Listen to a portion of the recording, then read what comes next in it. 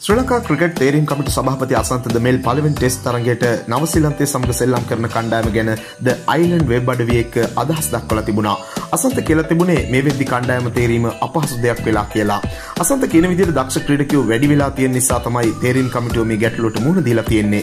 පසුගිය දකුණු අප්‍රිකා සංචාරයේ දක්ෂතා පෙන්වපු ක්‍රීඩකයෝ වගේම පසුගිය කාලේ ආබාධයකට ලක් වෙලා හිටපු ක්‍රීඩකයෝ නැවත දක්ෂතායක කණ්ඩායමට ආපු එක තමයි අසන්තට මේ විදිහට විසඳගන්න අමාරු ප්‍රශ්නයක් උද්ගත වෙන්න හේතු වෙලා තියෙන්නේ. දකුණු අප්‍රිකා සංචාරයට එකතු වෙලා ආපසු දකුණු අප්‍රිකා තන්තිලිවල අංක 1 වේග පන්දියවන්න හමුවේ වැඩ පෙන්නපු ඔසන්ද කණ්ඩායමට ගන්නේ කොහොමද කියන එකත් මේ වෙද්දි ප්‍රශ්නයක් වෙලා කියලා තමයි අසන්ත කියන්නේ. අපිට මේ වෙද්දි කණ්ඩායම තෝරද්දි ලොකු ගැටලු වලට මුහුණ දීලා තියෙන්නේ.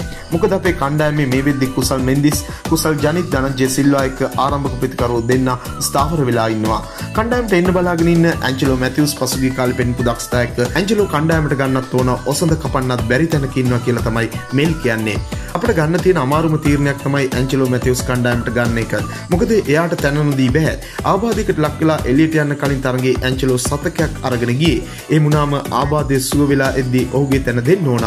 සංචිතේ ප්‍රතිකරුව අටක් ඉන්නවා. එතනින් හය සෙල්ලම් කරවන්න පුළුවන්. ඒ වගේම තමයි කඩළු රකින්න තැනත් ලොකු සටනක් තියෙනවා.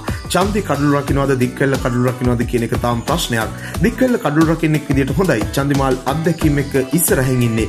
ඉතින් කණ්ඩායමට කවුද ඕන කියන දේ කණ්ඩායමේ නායකයා තීරණය ගනී. ඇත්තට මේ විදිහේ තරගයක් තියෙන එක අපේ ක්‍රිකට් වලට තමයි හොඳ. සංචිතය ඇතුලේ තත්ත්වය මෙහෙම වෙද්දී කණ්ඩායමේ එළිනුත් ලොකු සටනක් තියෙනවා කියලා අසන්ත කියන්නේ. මේ විදිහට කණ්ඩායම ඇතුලේ සටන තියෙනවා වගේම තමයි සදීර සමරවික්‍රමයි ධනසු ගුණතිලක වගේ ක්‍රීඩකයෝනුත් එළිය ඉඳන් සටනක් දෙනවා. වේගපන්දු යවන්න අතරින් ලොකු සටනක් තියෙනවා කියලා තමයි තේරීම් කමිටු සභාපතිතුමා කියන්නේ. ලයිරු දකුණු අප්‍රිකා සංචාරයේ සෙල්ලම් කළේ නැත්තේ හොඳ යෝග්‍යතාවයකින් හිටපු නැති නිසා. ඒ නිසා අපි විකල්ප වලට ගියා. කොහොම වුණත් ලයිරුගේ වේගයත් එක්ක එයා කණ්ඩායමට ආවා ඉක්මනට. දැන් සංචිතේ ඉන්න විශ්ව වගේම සුරංගත් දකුණු අප්‍රිකාවේදී හොඳටම කළා.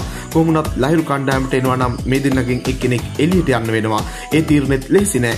කොහොමුණත් මේ තත්ත්වය හොඳයි. බලන්න අලු බඳුන තරගේ ස්ටක් හෙල්සුඩ් දෙන්නටම කණ්ඩායමට එන්න බැරි වෙලා තියෙනවා. මේ වගේ දෙයක් තමයි අපේ කණ්ඩායම ඇතුලේ මේ වෙද්දි වෙලා තියෙන්නේ. මේ විදිහට තමයි අසන්තගේ ඔළුවේ තියෙන ප්‍රශ්න ගැන කියලා තිබුණේ. අසන්තට ආදරේ නම් ඔයාලට පුළුවන් කණ්ඩායම කොහොම වෙන්න ඕනද කියලා යෝජනා කරලා මේ ප්‍රශ්න විසඳන්න අසන්තට උදව්වක් දෙන්න. මෙවැනි වීඩියෝ දිනපතා බලන්න අපත් සමග එකතු වන්න. ඔබ තවමත් අපේ channel එක subscribe කරලා නැත්නම් දැන්ම අපි subscribe කරන්නත් ක්‍රිකට් වලට කැමති ඔබ යාළුවෙකුට බලන්න මේ වීඩියෝ එක share කරන්නත් අමතක කරන්න එපා.